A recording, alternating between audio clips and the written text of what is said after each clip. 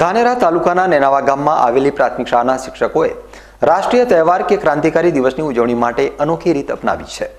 શાળા પરિવારે વર્ષ દરમિયાન ઉજવાતા વિશેષ દિવસો ઉપર શાળામાં અવનવા ફૂલછોડનું વાવેતર કરી આ દિવસોને ઉજવવાનું નક્કી કર્યું છે.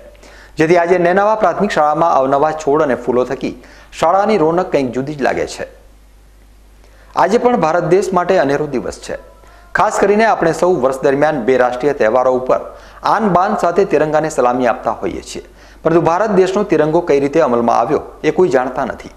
ભારત દેશને આઝાદી પંદર ઓગસ્ટ ઓગણીસો સુડતાલીસના રોજ મળી હતી.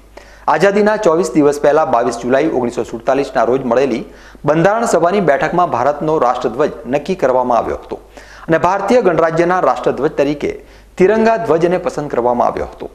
વર્ષ ઓગણીસો સુડતાલીસમાં પસંદ કરાયેલા રાષ્ટ્રધ્વજ પિંગાલી વેંકૈયા દ્વારા રચિત ભારતીય રાષ્ટ્રીય કોંગ્રેસના ધ્વજના આધારે રચાયેલા તિરંગા ધ્વજમાં આડા ત્રણ રંગના પટ્ટા છે, જેમાં ઉપરનો પટ્ટો ઘેરો કેસરી, વચ્ચે સફેદ અને નીચે લીલો રંગ હોય છે. કેન્દ્રમાં ઘેરા વાદળી રંગનું ચોવીસ આરા ધરાવતું અશોક ચક્ર પણ આવેલું છે. અશોક ચક્ર સારનાથના સિંહાકૃતિવાળા અશોક સ્તંભમાંથી લેવામાં આવ્યું છે. તિરંગાના ત્રણ અલગ અલગ કલર પણ ભારતની એકતા, સુંદરતા અને શાંતિની ઓળખ આપે છે.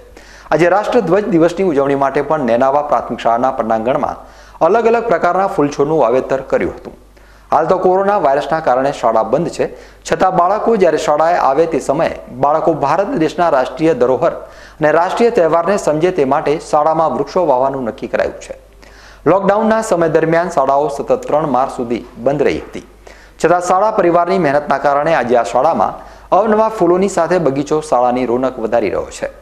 રાષ્ટ્રીય ધ્વજ દિવસની ઉજવણી પણ નેનાવા શાળા ભૂલી નથી અને આજે લીલા છોડ વાવી અને ભારતીય તિરંગાને સલામી આપી છે.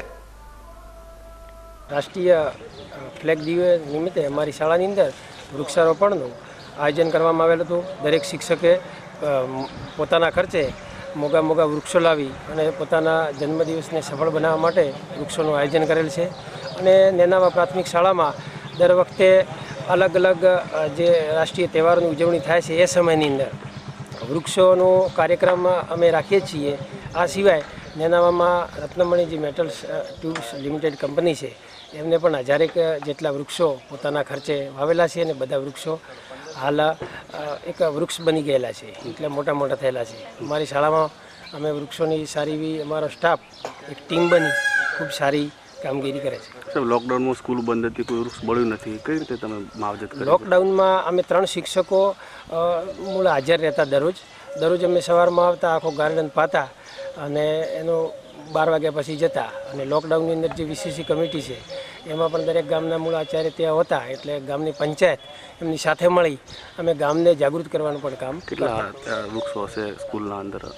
સ્કૂલમાં હાલ અમારે બસો કરતાં પણ વધારે વૃક્ષો હશે. એટલે જેવો શાળાનું કેમ્પસ છે એટલા વૃક્ષો લગાવેલા જ છે. નેનાવા પ્રાથમિક શાળાના શિક્ષકો તેમજ બાળકો પોતાના જન્મદિવસની ઉજવણી ઉપર શાળાના મેદાન અને બગીચામાં દસ રૂપિયાથી પંદરસો રૂપિયા સુધીના છોડ વાવી પર્યાવરણ બાબતે જાગૃતિ પણ લાવી રહ્યા છે.